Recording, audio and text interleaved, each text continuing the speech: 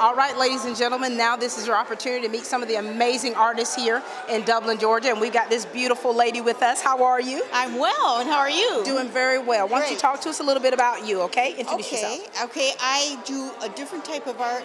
I do religious art, and it's Byzantine, Mm-hmm. and that is very ancient. So I do things from the Bible, Mm-hmm. and do people that are recognized as saints. Right now, I'm working on Mother Teresa. Oh, wow. And so she's coming along very nice. It takes a little bit of time. It's a different kind of art. Mm-hmm. We mix our own pigments out of powder and add egg to it. Oh, Really? And that is how, that's very ancient. Now, how long have you been doing this type of work? About 16 years. About 16 Yeah. years. And you know, it's very intricate the way it sounds. It is intricate. There's a basic steps Mm-hmm. that you always do. So there's 22 steps. Mm-hmm. If you uh, finish your icon and it, it's around for many, many years, it gets Right. damaged, you can go backwards over those steps and repair it.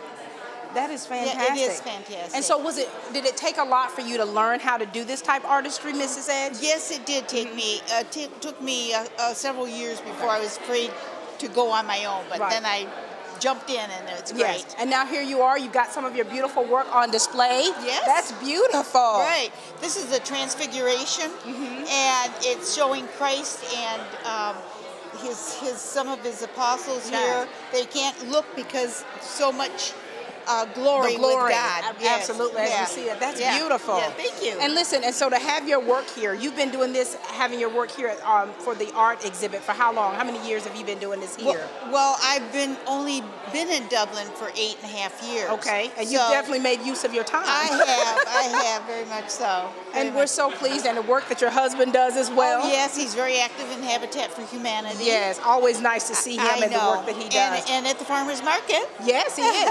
and now we know where all of his goodness comes from. Oh, bless your heart. Well, your work is beautiful, and Thank thank you. you. for sharing with us a little Thank bit you. about how you do what you do. And let me ask you this one thing: Why do you do what you do? It, it is peace and tranquility. Mm-hmm. It is when you're working on that, you lose. Yeah. yourself in another medium. And here you are. Yeah.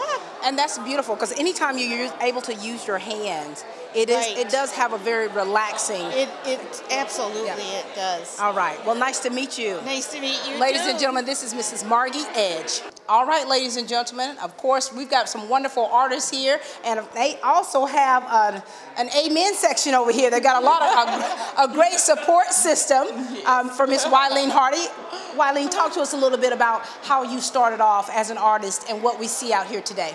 Well, I was um, interested in art since I mm-hmm. was a kid, and I started out actually with paint by all painting sets mm-hmm.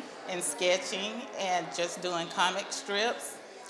I just always had an interest for arts and crafts. So even mm-hmm. as a little girl, Yes, and here you are, all the things that you were doing as a child, it's coming into full fruition here. yes, yes. Very good. And you got this beautiful daughter here to your right. How are you? I'm well. I'm well. Introduce yourself to everyone if you Uh, would. my name is Crystal Hardy, and I am one of five of Waleen Hardy's children. I'm actually the middle child.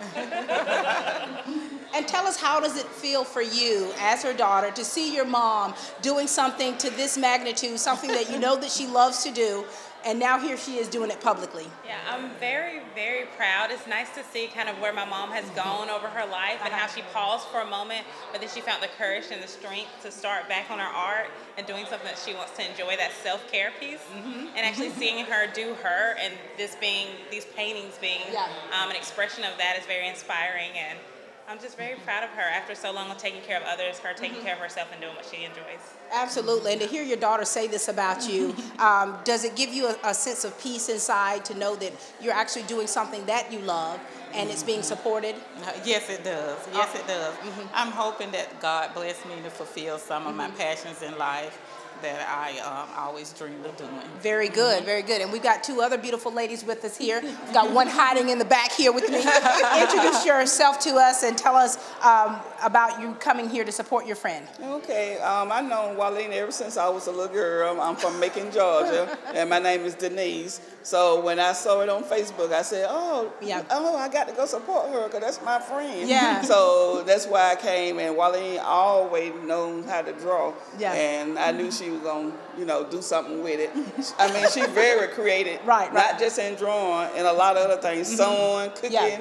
baking, all A jack of all She- uh, trades. She's a, she's a jack of all And, trades. and you're, you're proof, Denise, to know that, you know, you've been friends with her for so long to see what she's doing. Right. All right, here's another one down here. Hi, darling, talk to us a bit. Hi. Yes, my name is Renee Moffitt. I'm a friend of Wileen, and I've been knowing her for a long, long time. And she is very creative. She is a jack of all trades, and she is also an encourager. Yeah, wow. Miss Hardy, you've got a big support system here. You got some ladies who've known you for so long, and you got your daughter here. And you got other friends in the background who are definitely cheering you on to come here to support you for the beautiful artwork that you're doing. Thank you. All Thank right. you. And I appreciate everything All right. um, that they, you know, do in my life Yeah. as well and coming to support me for most things that I do um, right.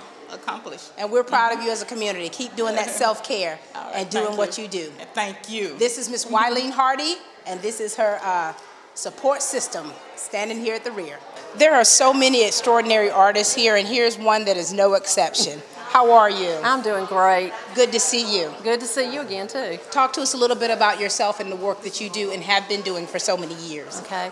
I started as a young child. I just liked to draw, and I decided when I went to college, my counselor always told me to do what I loved, and so I had never had a formal art class. Mm-hmm. But I went to Georgia Southern and majored in art, and ended up in art education, and I've been teaching for 38 years. Wow. And I love it. I love it. And you know, Miss Waters, whenever we go to your classroom, mm-hmm. it is absolutely beautiful. Like the work that you um, that you put into the education of these students, mm-hmm. and just their natural talents is just pouring out. Right. That's the that's the most rewarding thing is to see children that don't think they can do it and find out they can and and their and their love and passion. I like to pass it on. So Right, absolutely. And so, how long have you been a part of Art Dublin and, and having your artwork displayed? uh, about five or six years. Um, I was in the Artist of Georgia last um, spring um, with one of my works. It was the first juried competition I Oh, wow. had entered, and I got accepted. That made me happy. You know, you pour out so much of yourself to others, and now to see you in your elements mm-hmm. doing this for you is a beautiful thing. So, tell us about some of your work as we're looking at this beautiful thing here. Um, I love bright colors mm-hmm. and I love coffee, so I've been working this on and off for about two years. But I would do some colors, then change it, and then try to unify it by using the same colors. Mm-hmm. But it, it just makes me happy, and I like I like to use bright colors. It and I is like so designs. beautiful. Well, thank you. And so many intricate little designs in there, and this is acrylic paint that you're yes, using. it's acrylic. Very good. It's so beautiful. How many pieces do you have here today? Five. Five different pieces. Well, listen, we're just so uh, thankful for the work that you do within the school system and how you're teaching and pouring out to these kids. Well, they they make my day too. I mean, they really do. I love teaching them, and they're so wonderful. And I just love them. It's evident because I mean, just to, when I see you in the hallways or just see you out, you're always so happy, Mm-hmm. Well, and I know you. that art makes you happy. It does, it does, and the students learning, and and like I said, just Yeah. passing it on to them. Yeah. Well, thank you for everything that you're passing on. Well, thank you for helping Dublin and Art Dublin. Thank you. This is Miss Katrina Robinson Waters, ladies and gentlemen.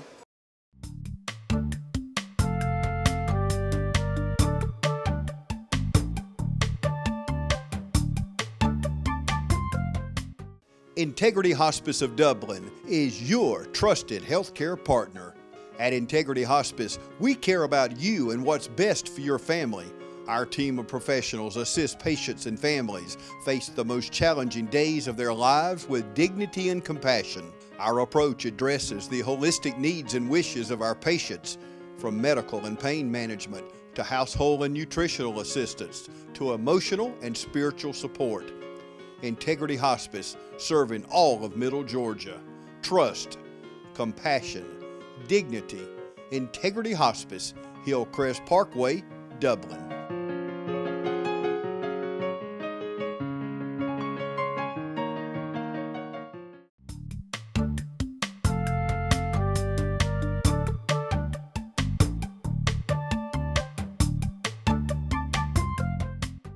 It is such an honor to meet all of the artists here. Now we've got the youngest artist uh, with us this evening. How are you? Good.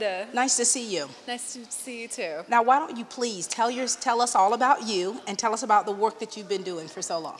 Well, I am Ashley White. I currently go to school at Georgia College. Um, I study fine arts studio and I also have a minor in photography. Photography is my favorite art medium, and currently I have photos here. Um, this is actually my first exhibition, and I am very excited about this. Ashley, this is such a huge feat for you. This is wonderful. Congratulations. great. You know, the fact that you're you're majoring in something and minoring in something that you love to do. And now Yeah. here you are at this platform being able to display your work. Did you ever think that this would happen for you? Um, probably few years down the road, but Right. I didn't think this soon, so I jumped on this opportunity. And when did you start taking pictures? I mean, were you always like a little kid with a little camera? You see something cool and you're like, I gotta get this picture. Yes. Wow. And now you become a lover of it, and now here you are, you're displaying your work. Tell us about the work that you have here today. Um, I shot all the photos in my first art class last semester. Yeah. and actually, all these photos are on one roll. I did not have to. Really? Most of them are pretty good. Um, I'm surprised that I got all really good ones on one Mm-hmm. roll. So, and it does not take that much effort to, for me at least. And so, how, how rigorous is your schedule at Georgia College? It stays pretty busy Yeah. actually with Yeah. Mm-hmm. all my art projects and printing and drawing and Yeah. painting and all that. And so, um, what type career are you looking for after graduation? Hopefully going to graduate school for photo Mm-hmm. Yeah. and maybe working for National Geographic. That's my goal there. That would be fantastic. I remember at school, like to see the coolest pictures, you had to look in the National Geographic book. I we would just look at the pictures. That was like our thing. And you'd find so many beautiful colors. So I'm sure that when you see something visually, it Mm-hmm. attracts you and you can find the beauty in that, can't you? Yes. Very good. Well, listen, we're so proud of the work that you're doing and, and of course, the work you have displayed here. Yeah. Very good. Keep doing great things, lady. All right, thank you. All right, ladies and gentlemen, this is Miss Ashley White, a Bobcat at Georgia College State University.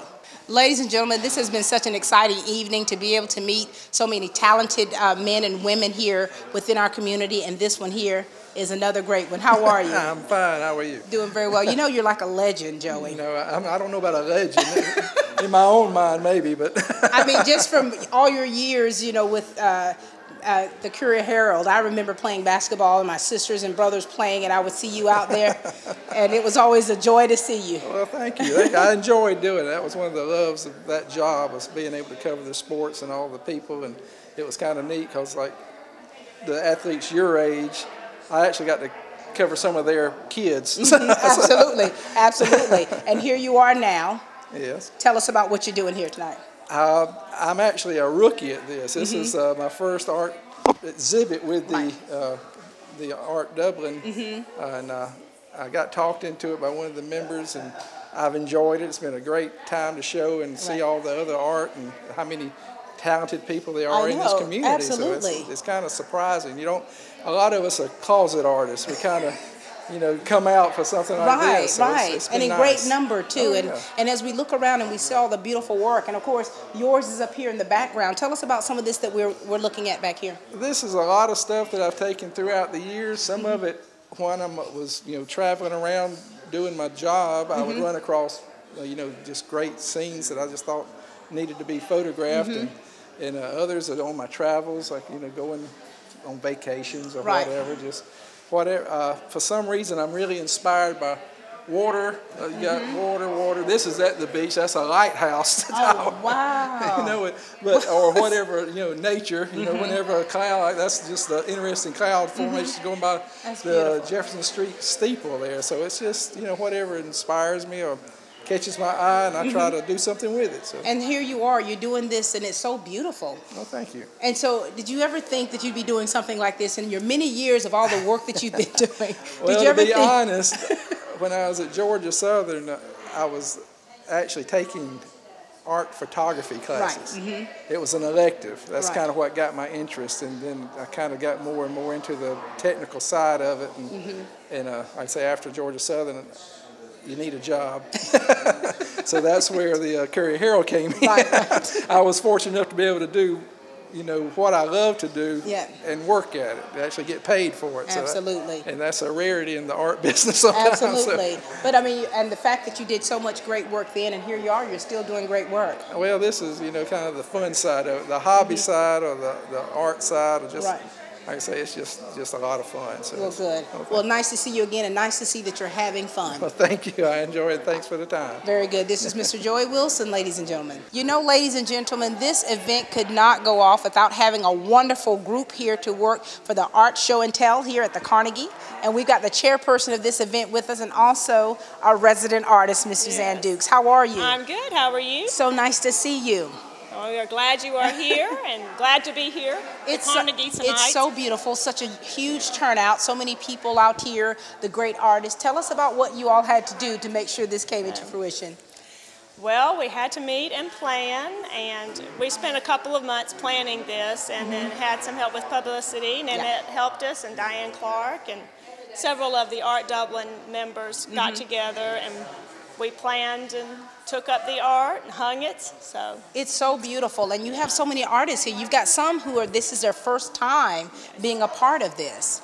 Yes, we have some that are young and some that are uh, new to our group that Right. we've reached out to. We've had about 25 to join and show their art here. So And it's so good. and it's so great. And and this whole weekend is geared toward that and to show the art and to sell the art and different things like this. And so your work now you've been busy for quite some years Yes. in this realm. Tell us about uh, what you've been doing, Miss Suzanne.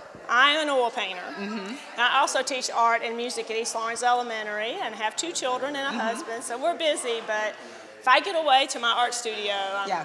it's like relaxation and Oh, just yeah. can And of course, step you, back from all the chores. and here you are. You're doing something that you love, and you've been doing this for many years.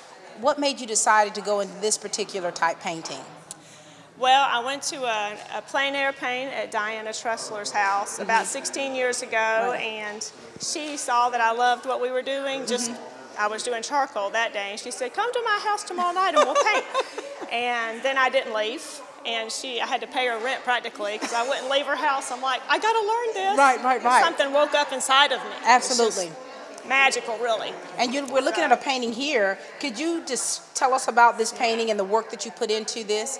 Well, this is a portrait of our son Andrew, and portraiture is what I always wanted to do. I thought would be, you know, such an accomplishment. Mm-hmm. Right. Mm-hmm. So I paint a lot of florals, a lot of plein air painting, animals even, but I thought I've got to tackle a portrait. Right, right. So it's still wet.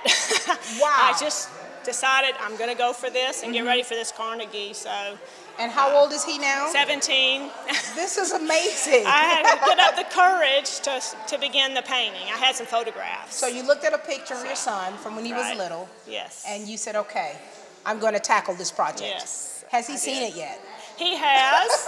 He What does he likes it. He does. He likes it. He does. So It's really beautiful. thank you. And how much time does a portrait like this take to do?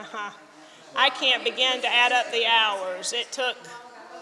I work on it for about you know a week or two and put it away. Mm-hmm. Right. Work on it again, probably hundreds of hours. Hundreds on of this. hours on Now, this. Now, is this something that you think that he would want to keep, or would you keep it in the house yourself? I will keep it until you know I get much older, Mm-hmm. Right. and then I would give it to him. And then that will be something he can show his children and just Yes. just to see the work that you do. And, and we know that, you know, your husband does so many great things in the community, of course, as the band director for the Raider Brigade, Yes, which you're missing yes. a game tonight. Missing a game, and that's okay. and then here you are as an educator and as an artist um, yourself. So we really appreciate all the work that you do. Oh, we love it, and we love Dublin. Absolutely. appreciate the interview and you coming out here to join us. Absolutely. Thank you for doing these wonderful okay. things. Thank you, Pat. This is Mrs. Dukes, ladies and gentlemen.